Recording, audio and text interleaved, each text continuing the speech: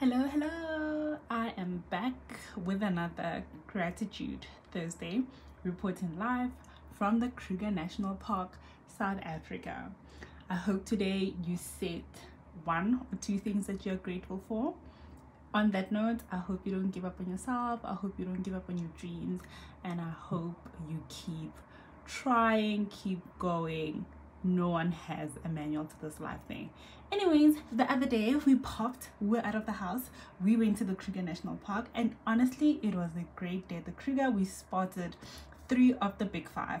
As you can see mr lion over here he took the zebra down by himself. One man he's looking for the family. And when we were about to go out of the kruger we bumped into sis here. She was going with her family um, so it was the male elephant the baby elephant and of course sis as you can